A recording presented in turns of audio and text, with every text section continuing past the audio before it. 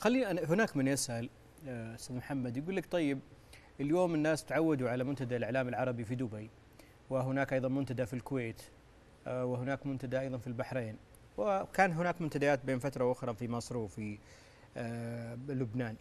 إيش الجديد؟ يعني ما الذي سيقدمه منتدى الإعلام السعودي مختلف عن المنتديات الأخرى؟ شوف الإعلام يواجه أصعب مرحلة ربما في مساره التاريخي. صناعة الإعلام كصناعة الآن تمر بمنعطف كبير جدا.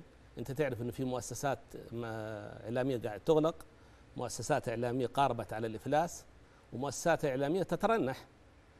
ليس في السعودية فقط نتكلم جلوبالي. على مستوى العالم. فإحنا كإعلاميين وكمهتمين بصناعة الإعلام لابد ندرس ما هي التجارب الموجودة في العالم. ما هي ال business model اللي آه، وجد حتى صنع التغيير في مؤسسات إعلامية؟ في مؤسسات إعلامية في آه، في الدول الإسكندنافية كانت مفلسة. نعم. تغير ال business model تغيرت القيادة غير المشروع المش- المؤسسات آه، تربح. النيويورك تايمز واحدة من التجارب العالمية المثيرة. الآن التارجت أربعة مليون ونصف مشترك ودخل مليار دولار. مليار دولار.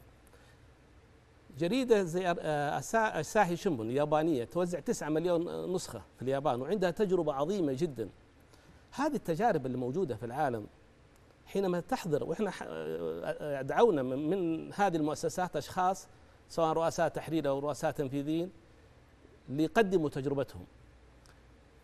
أنا كمؤسسة إعلامية مثلا في السعودية أشوف تجربة اليابان وأشوف تجربة آه، النرويج وأشوف تجربة أمريكا وأشوف التجارب الأخرى. وأبني ال business model المناسب لي اللي يتناسب مع السوق السعودية. لأنه لكل سوق مواصفات ومعطيات خاصة. لكن مع يعني احترامي لكل هذا لكن لا يمكن أن نجلس في البرج العاجي. نعم.